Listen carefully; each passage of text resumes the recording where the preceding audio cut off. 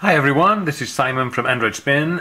Another quick look, this time at the Barnes & Noble Nook Color. This is actually one of the, probably the coolest tablets I've had my, uh, my hands on. It's not designed to be an Android tablet, it's a Nook ebook reader, but uh, I've modified it, I've hacked it, and it's got full access to the Android market and all the applications you would ever need.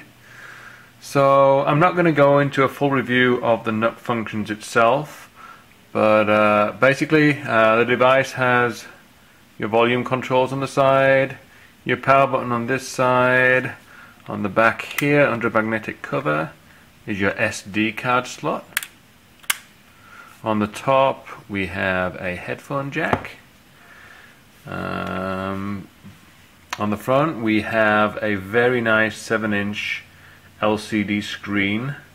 Um, the quality is really, really nice. Uh, if you can see it on the video, I don't know whether the video gives it justice or not. The Nook itself has three home screens. The little icon you can see at the side here is the soft keys modification that comes with hacking the tablet. That gives you access to the regular Android keys such as the home, menu, back. Because uh, as you can see, they don't come as default on the Nook. Now the Nook has an area called Extras, which is just down here. So in the Extras is where you would find the general extras that come with the Nook color. But since I have now modified this tablet, we have email, Gmail, Market, uh, Super User, Talk, YouTube, you know, all the regular Android accessories.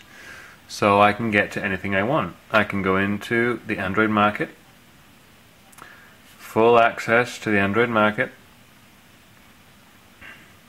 You can see what I've downloaded so far. A couple of uh, applications just to test out the tablet. Um, so if you watch, when I touch that, you'll see we get a pop-up down here. This pop-up gives you the back button, the home button, the menu button, and the search button, just like a regular Android device. So I can hit back, back, takes you back to the home screen, and then the X on the end of it lets you close it out. So again, go back into the extras. I've installed the Dolphin Browser HD because the standard browser that comes with the Nook does not support multi-touch. So uh, a bit of a pain to do. Uh, what we can do is if I go up here, and let's go have a look at our good old faithful androidspin.com and see what happens. And there we have Android Spin.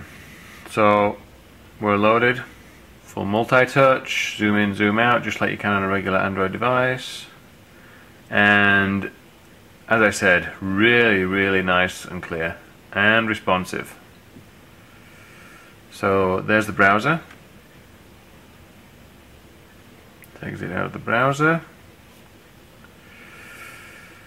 Now, how good is this as a regular Android tablet? Well, you guys know I already like to install the good old Angry Birds. So, let's see what that's like on this display. I can honestly say it's awesome. Um, and we're quite lucky really that I got my hands on this because my wife keeps stealing it all the time, as it is her tablet anyway. So here's Angry Birds, Trick or Treat, Seasons, Greetings. You can see how responsive everything is. And not to be able to tell because of the video camera, unless you can, let me bring it up closer. The clarity is awesome. It's smooth, it's responsive, it's multi-touch. So, $250 for this Nook Color e-reader, which is now an Android tablet. So again, let's bring up the soft keys, back,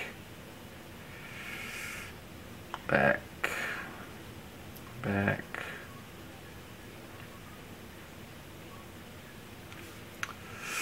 So there you have it.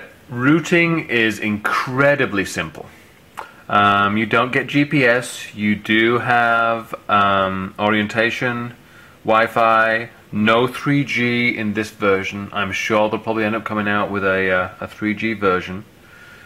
Um, you've got your general device settings. A lot of the Android stuff is there. It's just been skinned by Barnes & Noble.